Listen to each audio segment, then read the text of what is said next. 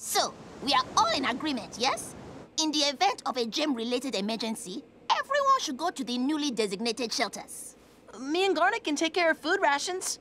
Anyone know a good, non-perishable brand of chaps? You can also put some pizza ingredients on ice just in case. That's a great idea, Garnet. We can ask all the local restaurants to pitch in food in case we have to hide for a while. These all seem like great plans, but how are you gonna get in contact with everyone when there's an emergency? This may be a small town, but it's a big small town.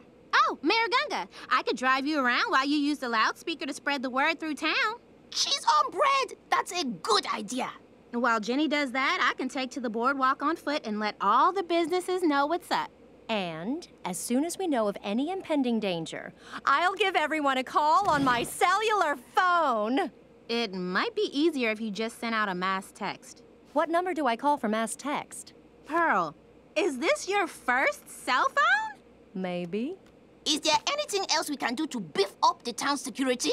It'd be nice if we could have some kind of lookout. Maybe I'll pick up one of those high-powered telescopes for the lighthouse or something. I volunteer! I love looking out! If I can't be in space, then I can at least look at it! This is beautiful. Ronaldo, Greg, you're on lookout duty.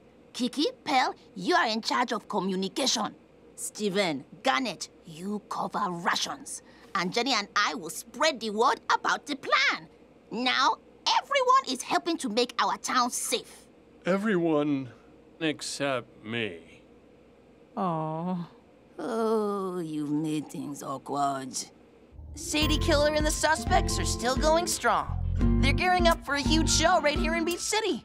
I hope you can make it back in time to see them play. And just as the chorus is finishing up, I'll grab this fake but very realistic chainsaw, and then Steven will hit me with the lights, and we'll all scream! Ah! And then I'll come out. Oogity boogity. I don't think you get it, Dad. We're going for scary, scary, not ha-ha scary. Ooh, all right. I just wanted to help. Did you cut holes in my bed sheets?